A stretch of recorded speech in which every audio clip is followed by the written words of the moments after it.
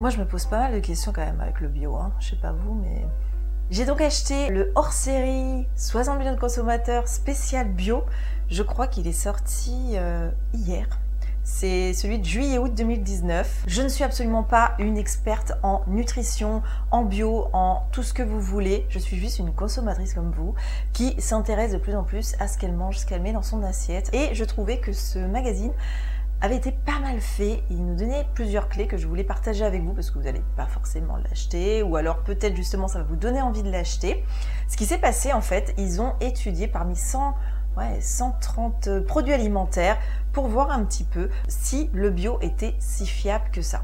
Et je peux vous dire qu'il y a des choses assez étonnantes qui sont un peu flippantes aussi quand même. Hein on va commencer avec le lait. Donc ils ont comparé 6 laits bio contre 3 laits qui ne sont pas pour voir un petit peu s'il y avait euh, des polluants, des pesticides. Et c'est assez, euh, assez dingue quand même ce qui est ressorti.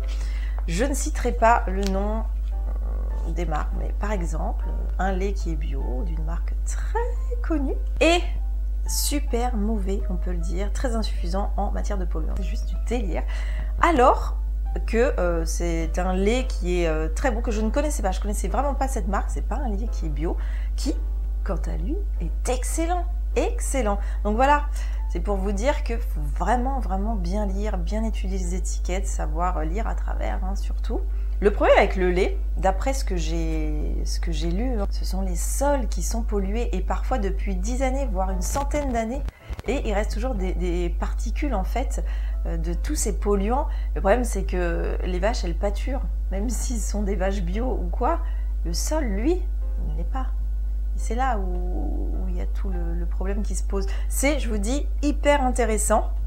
Et ce qui est très bien fait, comme je vous disais, c'est qu'en fait, il nous montre plusieurs yaourts donc euh, de marques différentes, soit ils sont bio, soit ils sont pas bio. Et juste à côté, on a un petit smiley qui nous dit si c'est bon, un petit peu comme Yuka. Hein. Pourquoi? Par exemple, là, il nous met qu'il y, a des additifs, il nous met que c'est euh, très peu sucré, donc c'est bien, vous voyez? Et ce sont surtout des marques du quotidien que euh, bah, on voit tout de suite si c'est les, les, marques qu'on consomme habituellement. Voilà. Pour les pommes, ils ont fait exactement la même. Par exemple, sur les 1, 2, 3, 4, 5, 6 euh, pommes bio et les deux autres qui ne sont pas bio, et eh bien là pour le coup, il n'y a aucun pesticide dans les pommes bio. Donc là, c'est plutôt cool, c'est même rassurant. Alors qu'effectivement, produits non bio, c'est marqué insuffisant. Donc il y a des pesticides. Voilà, il faut mieux privilégier peut-être quand même les pommes qui sont bio. Les bananes, pareil, moi j'en consomme pas mal. Excellent. Au niveau du bio, je pense qu'on peut, enfin je pense, il est écrit que on peut leur faire confiance. Peu de molécules indésirables ou interdites dans les banales. Ça, c'est bien. Les euh, desserts, yaourts bio, euh, très souvent, en fait, euh, si on regarde bien, contiennent beaucoup plus de sucre que des produits non bio. Voilà, ça c'est le genre de petit détail. On sait bien que le sucre, bah, c'est pas bon non plus à un moment donné pour la santé. Les œufs, par exemple, on dit aussi que le plein air ne réussit pas forcément euh, à cause toujours de ces sols qui sont pollués avec des matières hyper toxiques pour tout ce qui est système immunitaire, euh, système nerveux, cancérogène.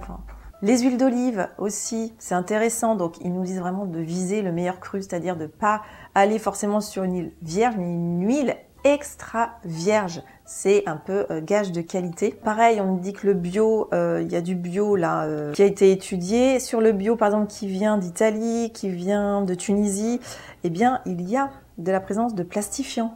Voilà. Pas cool non plus.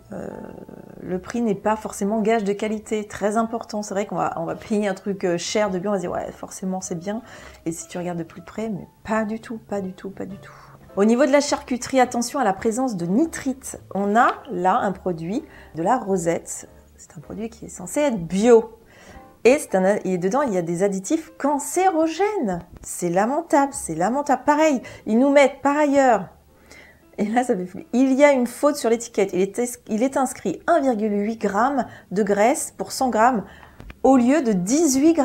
C'est la folie quand même, c'est dix fois plus. Je vous dis, euh, on est euh, arrivé à un stade où il faut tout, tout, tout éplucher. Les gâteaux apéro, ça par contre c'est mon petit euh, péché mignon. Produit apéritif incomposé, dangereux, je m'en doute.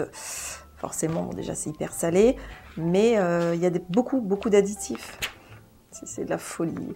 je voulais juste faire cette petite vidéo, pourquoi pas? Franchement, ce magazine hors série, si ça vous intéresse, foncez parce que je pense que ça va être pris d'assaut. Il est hyper bien fait et très très intéressant. J'en profite pour ceux qui ne l'ont pas encore fait. Voilà, c'est simple, c'est juste ici. Dites-moi en commentaire si euh, ça vous a plu, ce que vous en avez pensé. Et moi, je vous retrouve très très vite parce que je fais du daily vlog, donc dans un prochain vlog. Voilà, je vous embrasse. Salut